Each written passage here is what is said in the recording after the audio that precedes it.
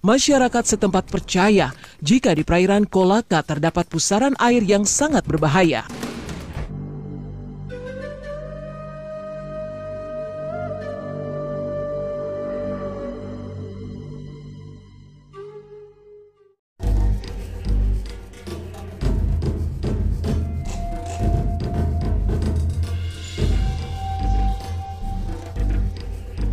Misteri Perairan Kolaka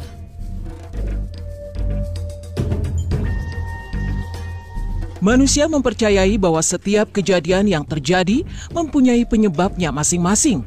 Entah itu kejadian baik ataupun kejadian yang buruk. Kejadian-kejadian tersebut dapat terjadi di mana saja dan kapan saja. Dan salah satu kejadian tersebut adalah kecelakaan transportasi. Kecelakaan transportasi bisa terjadi di darat dan di laut. Pada umumnya, penyebab kecelakaan transportasi laut disebabkan oleh faktor cuaca buruk. Namun tak sedikit juga yang mempercayai tragedi yang terjadi di laut disebabkan oleh makhluk gaib. Di Indonesia terdapat laut yang terkenal memiliki kisah misteri. Salah satu laut yang dianggap sebagai tempat paling banyak didiami makhluk tak kasat mata ialah rute penyeberangan Kolaka Bajoe dan Kolaka Siwa. Rute laut tersebut dianggap sebagai rute yang paling berbahaya. Konon legendanya, banyak korban yang berjatuhan di perairan Kolaka. Menurut data, korban jiwa terbanyak terjadi di wilayah perairan Kolaka dan Teluk Bone. Arus di perairan Kolaka sangat potensial, menyebabkan iklim di perairan tersebut kurang bersahabat untuk transportasi laut. Masyarakat setempat percaya jika di perairan Kolaka terdapat pusaran air yang sangat berbahaya. Konon legendanya perairan tersebut dihuni banyak makhluk tak kasat mata. Nelayan sekitar mengatakan banyak sekali terjadi tragedi dan penemuan-penemuan yang membuat geger masyarakat setempat. Tidak sedikit nelayan yang mengalami kisah mistis di perairan Kolaka. Konon legendanya salah satu tempat di perairan Kolaka yang terkenal mempunyai penjaga adalah Pulau Lambasina. Legendanya terdapat gurita raksasa yang mendiami pulau perairan Kolaka. Nelayan setempat menyebutkan gurita tersebut sudah lama mendiami perairan Kolaka. Legendanya, gurita raksasa sesekali menampakkan dirinya ke permukaan laut. Nelayan mengatakan kalau gurita tersebut menampakkan diri dan mengeluarkan cahaya terang. Masyarakat sekitar percaya bahwa salah satu penyebab terjadinya kecelakaan disebabkan oleh gurita raksasa penunggu perairan Kolaka.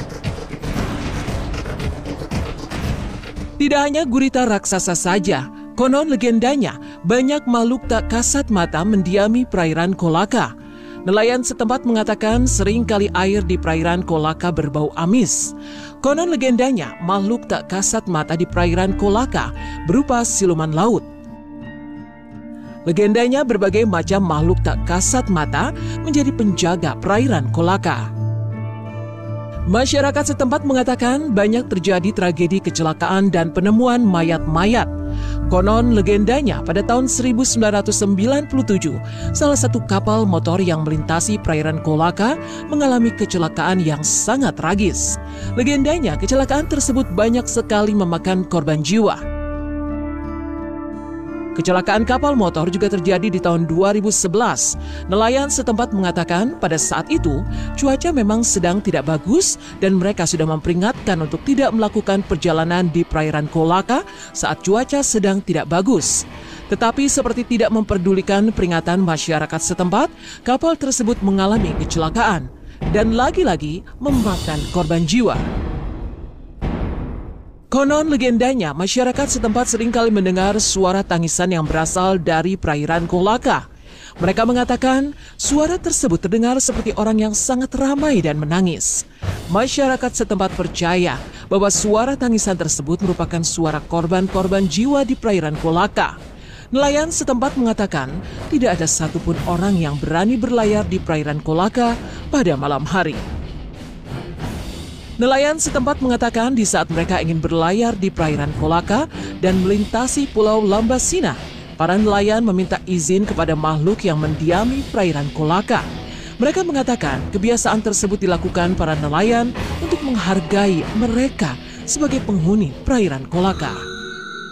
Selain itu, para nelayan juga menjaga sikap dan perkataan agar para penjaga perairan Kolaka tidak merasa terganggu dan tersinggung.